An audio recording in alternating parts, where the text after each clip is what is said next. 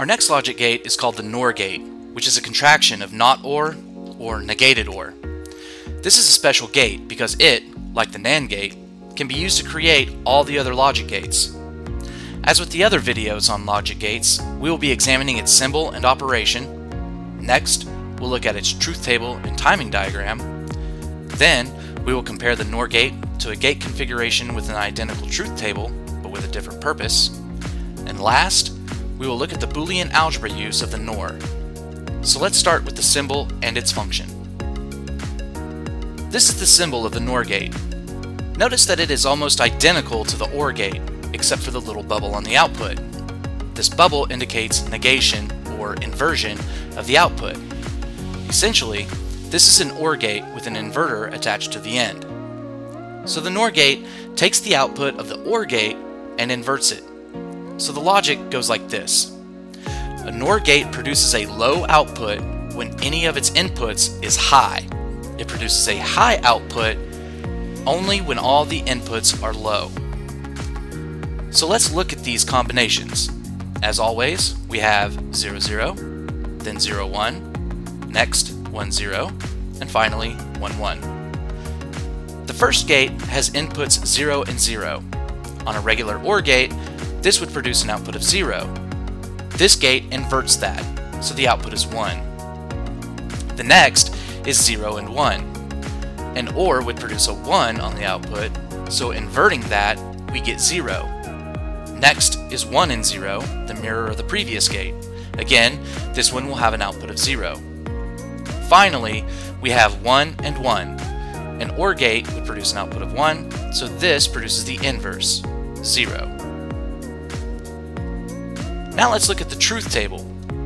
We have our four combinations of two inputs as usual. We also have the OR table so we can compare. Two inputs of 0 gives us an output of 1. An input of 0 and an input of 1 gives us an output of 0, so that's the next two values. Finally, two inputs of 1 give an output of 0. Compare this to the OR gate truth table. Notice that they are exact opposites. This must be the case since the NOR gate simply takes the OR gate's output and inverts it. Now for the timing diagram. We're going to look at the NOR alongside the OR. Look at the output waveforms.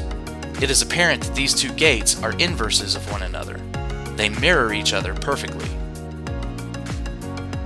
Now let's look at a different timing diagram. We're going to make a truth table of this diagram, and then we'll draw the output waveform. So let's place these values in the truth table. Now we can find the outputs of each time segment. Our truth table is now complete. All we have left is to draw the output waveform. Not so hard now that we have done this a few times. It is getting much easier, right? I will reiterate here, if you bring up the output waveform of the OR gate with the same inputs, you'll get the exact inverse of our output waveform shown here. This is why we call this the negated OR. Just like the NAND gate has a twin gate that produces the exact same truth table, the negative input OR gate, so too does the NOR gate. You can probably guess what this is. If you said to yourself, a negative input AND gate, then you're right on the money. This gate has inverted inputs on an AND gate. It will produce the exact same truth table as a NOR gate. So the question we must ask ourselves is, when do I use one and not the other? Just like the negative OR gate, the term negative AND is meant to express the fact that the inputs are in an active state when they are low. The NOR gate, like all the other gates we have looked at up to this point, have inputs that enter an active state when they are high. Think of it like this. In active high, the light turns on when a signal is present.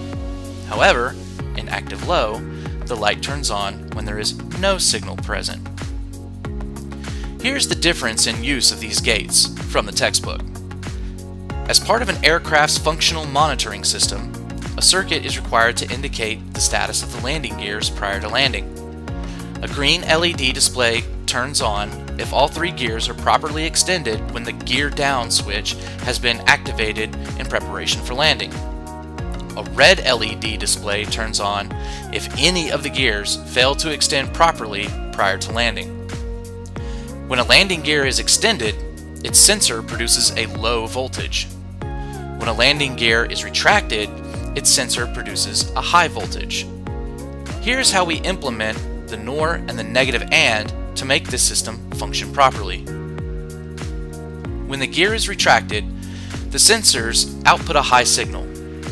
The NOR gate will output a low and the red LED will be turned on, indicating that the gears are retracted. This may seem counterintuitive, but remember that the bubble on the output means that the gate is active when in low.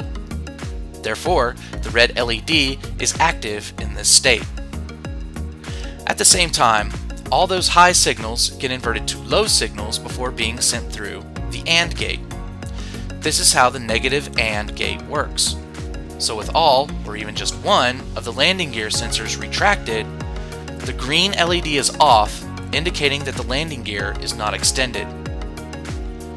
Now, when the landing gear is extended, the sensors output a low signal. The NOR gate will output a high, which is the non-active state of the output, shutting the red LED off.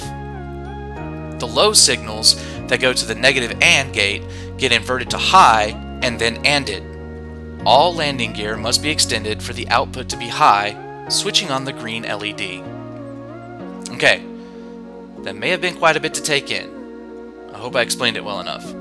If you are confused about the active low and active high operation of an input or output, then please see my video from section 3-1 on the inverter. The link is in the description. That leaves us with only the Boolean expression. If you've seen the previous video from this section on the NAND gate, you may be able to surmise the Boolean expression for yourself. Unlike the NOT, AND, and OR gates, the NOR gate does not use one of our traditional arithmetic symbols. Instead, like the NAND gate, it is a combination of NOT and OR. We apply the OR operation to the inputs. Here it is, A and B as usual. Then we negate it by placing the inversion symbol, or NOT symbol, over the entire expression. This is the Boolean expression for NOR. Now, what about negative AND? The negative AND gate inverts the inputs and then ANDs them. That is, they use Boolean multiplication. So we take inputs A and B, place a bar over each one, but not both with one bar. Then we multiply them separately. Do you see the difference? The NOR has one long bar that covers the entire expression. The negative AND has two bars, one for each input the NOR is added while the negative AND is multiplied. That will wrap up this lesson on the NOR gate. I hope you have seen all the videos up to this point as they definitely build off of one another. Get ready because in the next video we're going to cover the exclusive OR or XOR gate and the exclusive NOR gate.